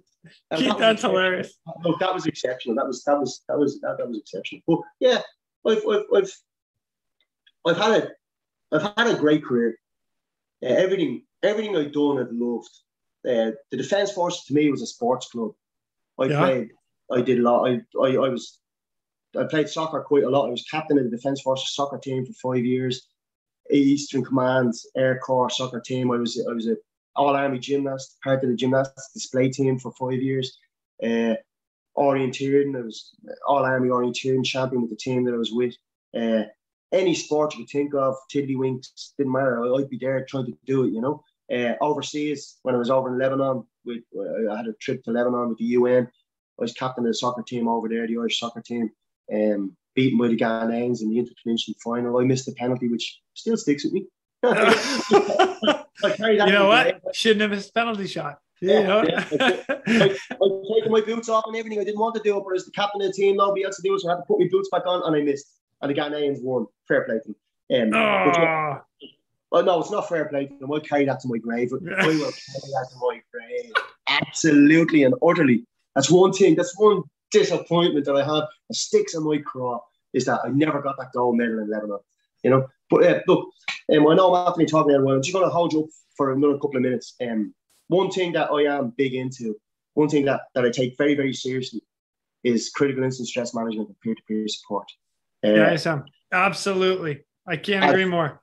Yeah, as first responders, we should be taking care of ourselves. Um, we should be taking care of our own mental health. I got involved in critical incident stress management when I was in the Air Corps after we had a fatal Dauphin crash in Tramore where we lost four crew members. God rest our souls. Um, Paddy, Mick, uh, Dave, and Noel. Um, after that, then we started. CISM was in its infancy in the world and in its infancy in the Defence Forces.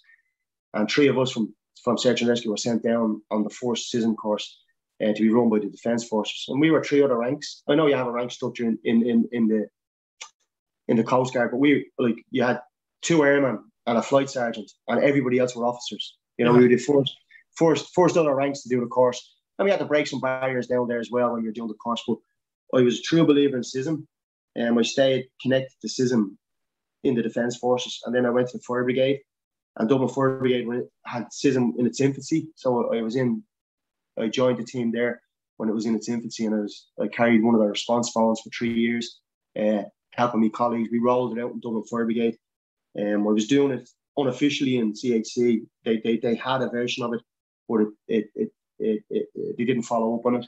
Um, so I was doing it unofficially with other people, and then they brought in Cheer, and then they went to CISM peer-to-peer support. But like for, for us as, as first responders, our mental health is very important. Uh, Agreed. Uh, talking to peers, I'm a huge believer in peer-to-peer support. I, I believe it saves people's lives. I believe it saves people's mental health. Talking to somebody who's been there, done that, has the t-shirt and has probably made it through to the far side if they're talking to you is very, very important. And as first responders, we should be talking to people. We're, look, we're all macho dudes. We're all, and I'm talking about the girls as well as the guys here. We're all A-type personalities. We all right. want to think bulletproof. We all want to think we can't get hurt. We all want to think that our mental health is is, is tip top you know. And hopefully that's the way a lot of the people's careers go. That they, they go through their careers and they're able to deal with things. But and it's a but. If you're not able to deal with things, you have to be able to open up to people. You have to speak to people. You don't bottle this stuff up inside. It doesn't go away. It doesn't go away. Nope. It stays with you. It stays in your head. And and mental health is as important as physical health. In fact, your physical health doesn't stop at your head. It goes above your head, into your head, and into your mental health. So if you've got a strong mind, you'll have a strong body. If you've got a strong body, it'll follow that you, you'll have a strong mind as well if you can get your mind balanced. So if anybody's out there and anybody's suffering or anybody's thinking about stuff, you're not wimp. You know, men cry. I've cried. I've cried many times in my career. Um, I, I, I'm, I work with some of the most serious guys in, in the fire brigade and, and in the army.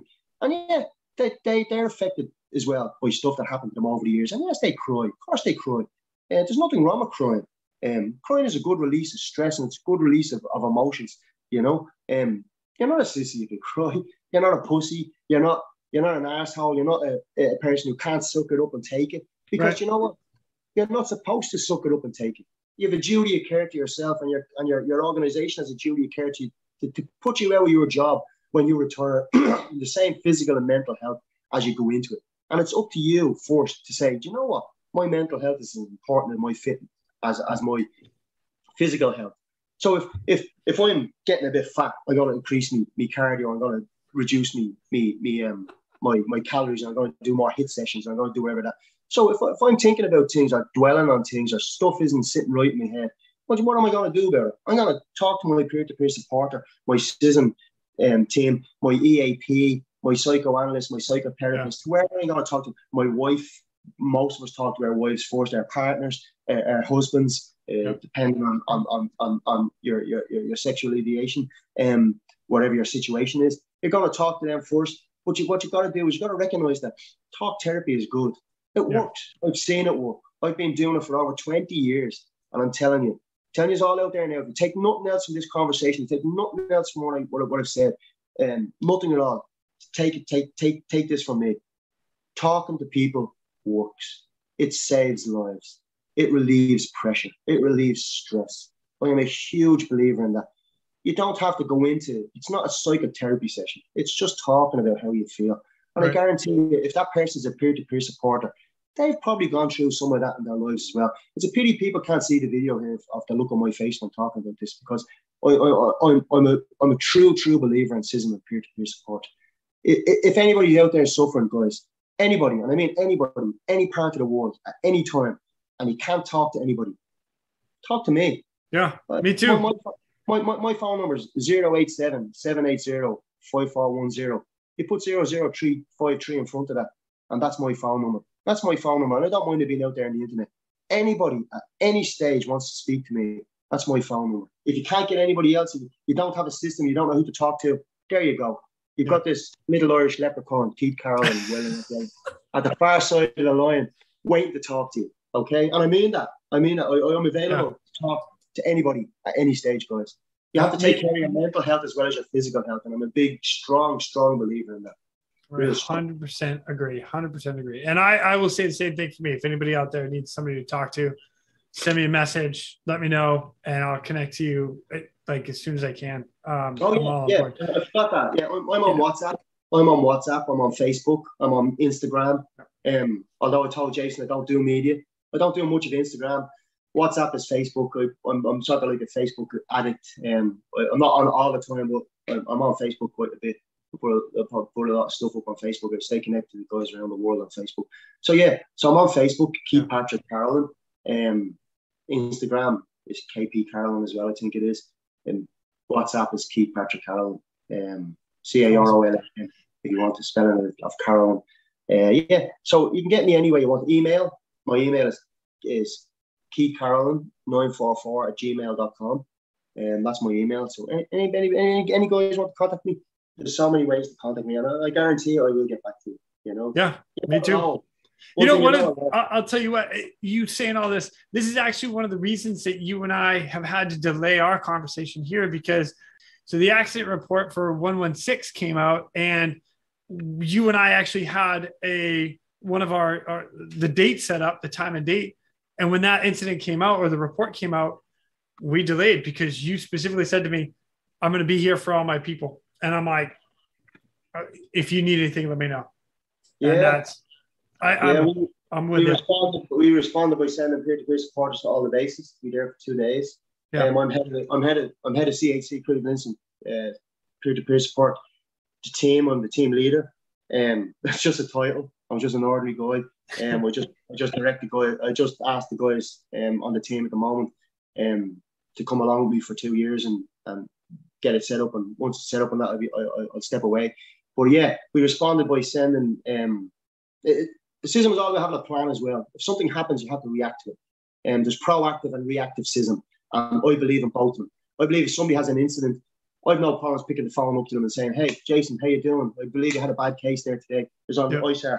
You know, how are you feeling? How's it? Not straight away. Maybe the next day or the day after, you know. How are you feeling? How's everything going with you? You know, just the usual chat. Get, get a chat going. We're a small group of people here in Ireland, so so we all know each other. I, I, I, I was in the military with a lot of the guys um, that are in CHC at the moment, you know. We came through the same training system. We all served together at some stage. Most of the military guys did.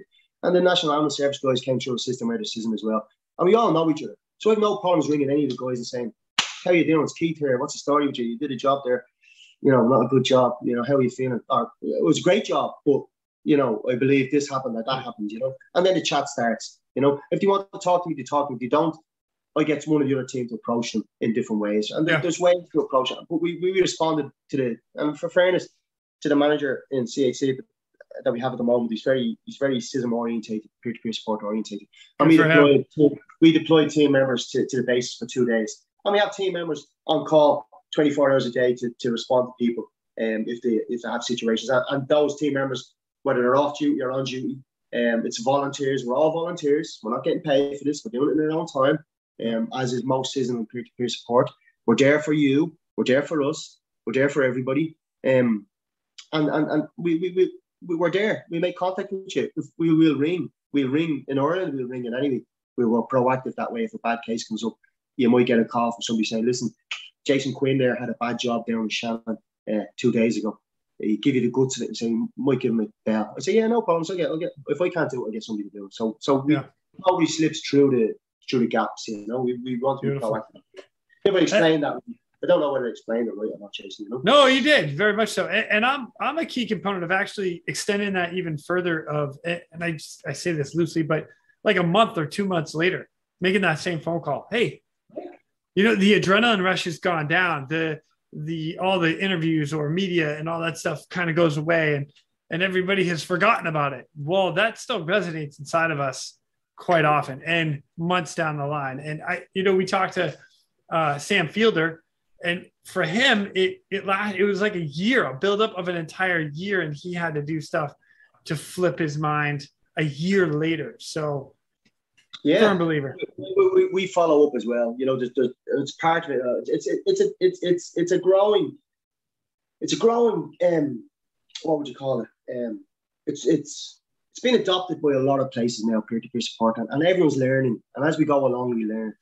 Yeah. And uh, touching base with people a month, two months, three months down the road, follow up is good. You know, you, you, can't just abandon people. You know, you can't just initially talk to them and then.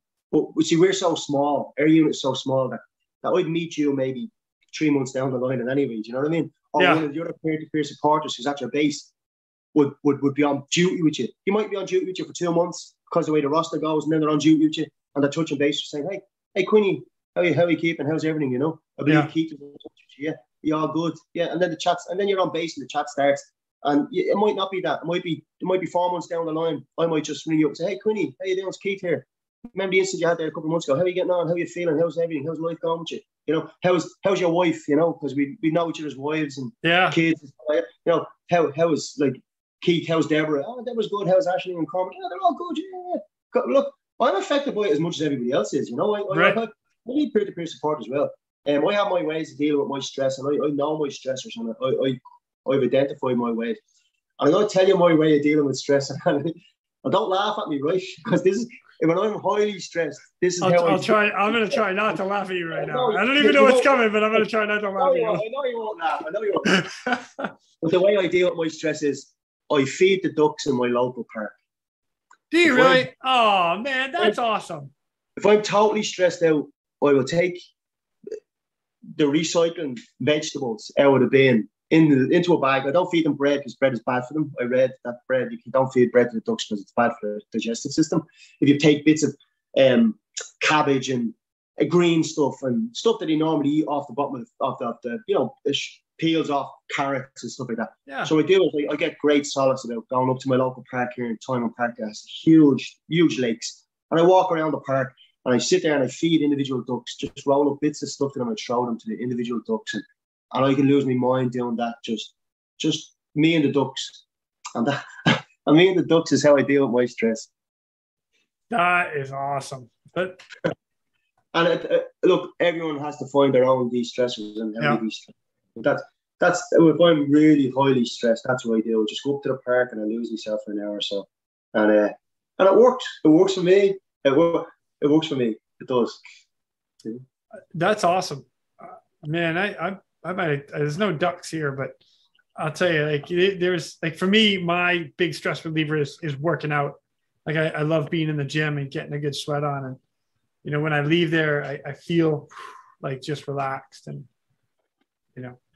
I've seen some of the guys. So like uh, I won't mention names, but I've seen some of the guys from Eurosa. You know they they work out hard. You know they.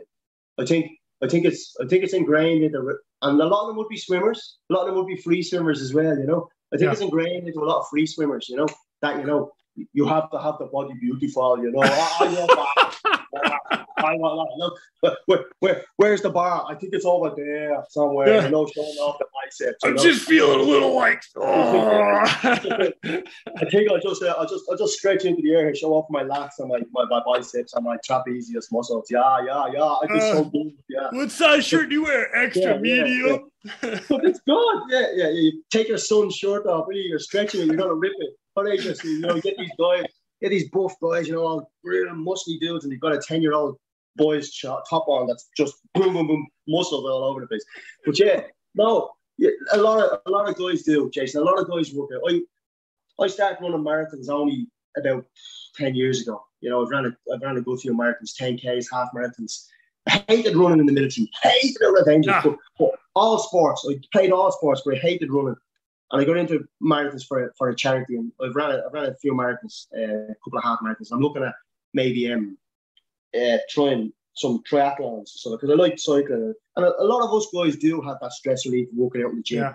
and it's good. It's good that you have it. You know, you're like you're in good shape. You know, there's other guys out there that muscles like all over the place. Me, I have a dad bod, you know. I don't have a six pack. I, I, I, have a keg. I have a keg instead of a six pack. That's my heart, you know.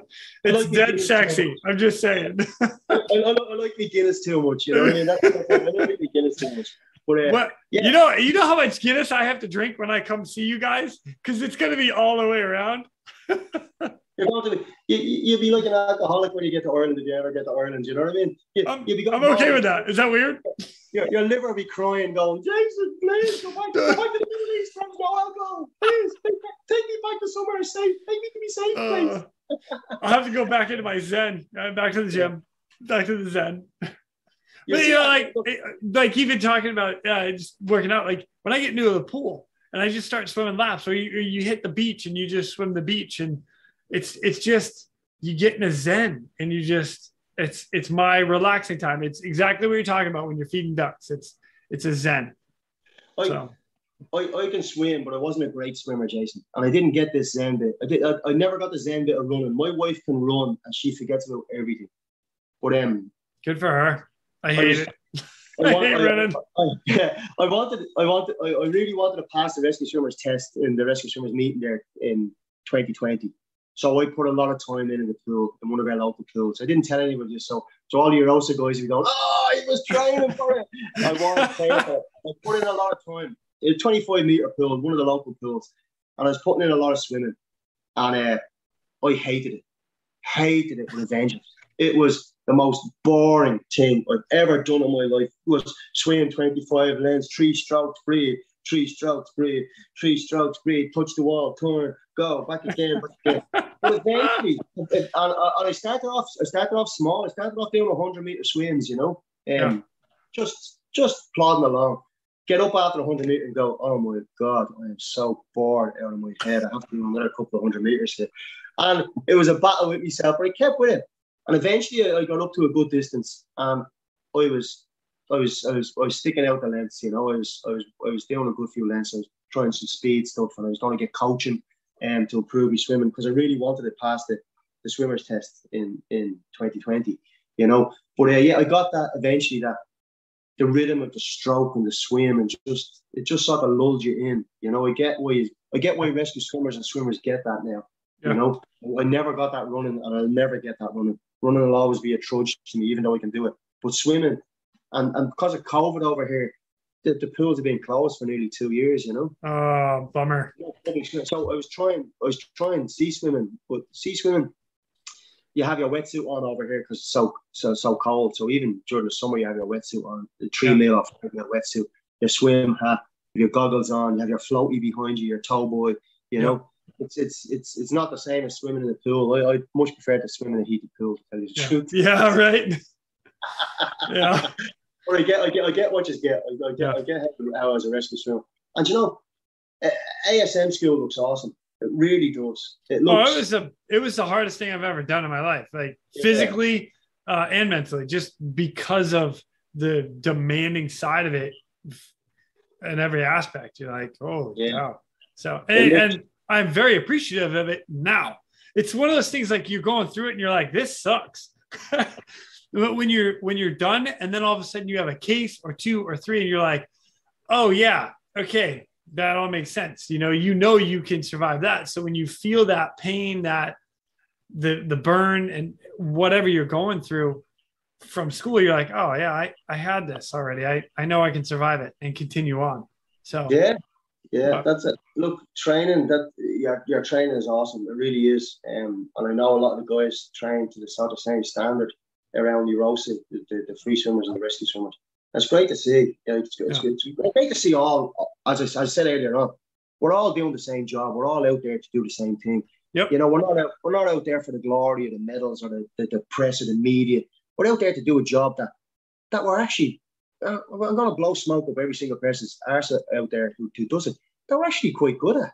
If yeah. look at it, we're actually quite good at our job. You know, we're actually. I think so. I I think we're pretty good at what we do. Even even even in my mediocrity, I'm quite good at my job. You know, my mediocrity good at my job. You know, but we're, we're good at our job, and, and that's reflected in in the successful outcomes. And I'm not yeah. talking about saving people. I'm talking about us getting home to our yeah. families. And we're, we're without the casualty. Look, I've heard something mentioned there uh, on one of your podcasts. Somebody said it, and, and it's very true. You know, it's their bad day, not your bad day. Right. You know, you're not a casualty. Yeah, you're not a casualty. It's it's they're having a bad day. Don't let their bad day become your bad day. Right. You know. So so uh, yeah. Have I had cases where I've gone to a thing and turned it down, said I'm not doing it as a winchman?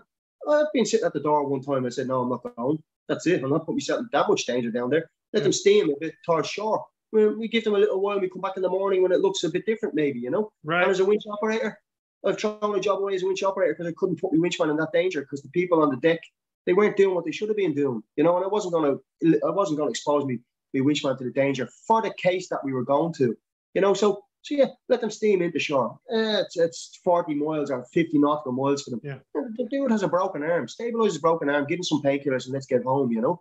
So, right. so, so we've got to think about ourselves as well, you know. Uh, don't let don't let their bad day become your bad day, you know. That's but I, I went off point there. Sorry, I'm rambling now. Ah, no, no, it's, it's like it's a it's a great way to finish this.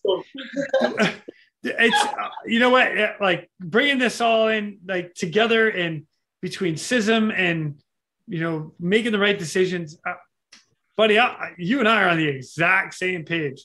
So we are all doing this around the world, and I love the fact that you know, like everybody has been willing to come on here and tell their stories because they're all pretty similar.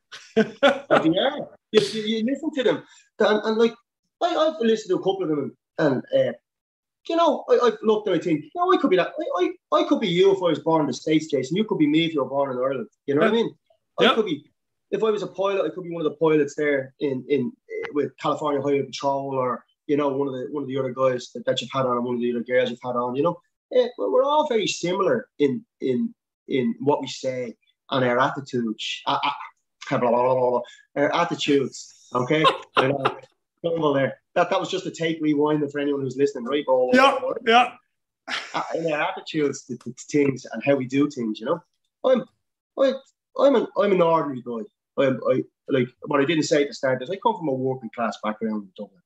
I come from an area that would be socially deprived my father was a soldier. He, he served for 43 years in the Irish Defence Force. Uh, he served in Congo twice. He served in Cyprus. He was in Sinai, as far as I know, as well. Um, he served overseas. My brother is a soldier and still a soldier. So very proud of him, I am too. He's a corporal in the medical corps. He's got he's got over 24, 25 years, I think it is now. Wow, in good for him. Maybe even more. And he's got six trips to Lebanon. He was in Lebanon when, for two Grapes of Wrath when the Israelis rolled through southern Lebanon. He's been bombed, shot at.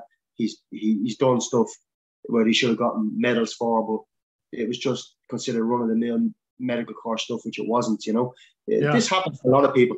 I'm very proud of him. I am. Uh, he he done a great job. And my, my I, I, I have five sisters and three brothers. We we're a big Irish family. You know, um, we always say that there's no television in my house. My father and mother had to entertain themselves somehow.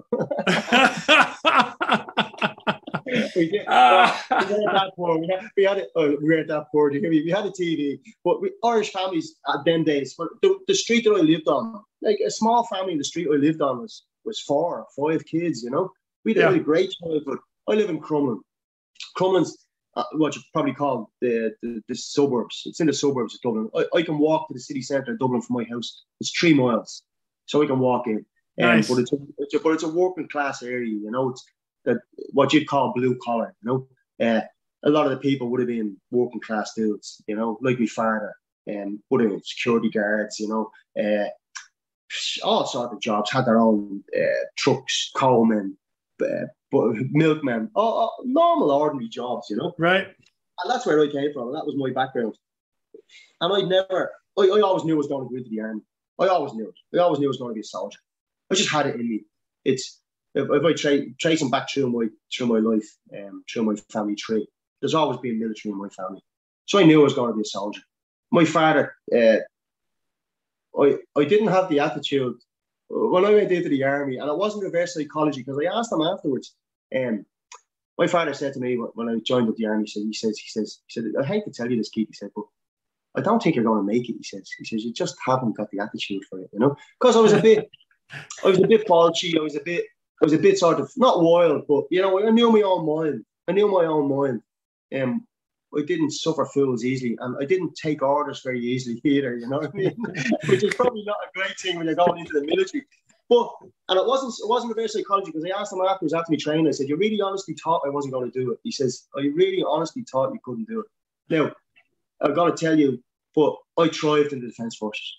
Absolutely thrived in the defence forces. I learned to say yes or no, sir, three bags full, sir. How high do you want me to jump? How far do you want me to run? How many right. do you need? What do you need me to do? You need me to carry this pack up that mountain, kill that guy, come back into the truck and go home.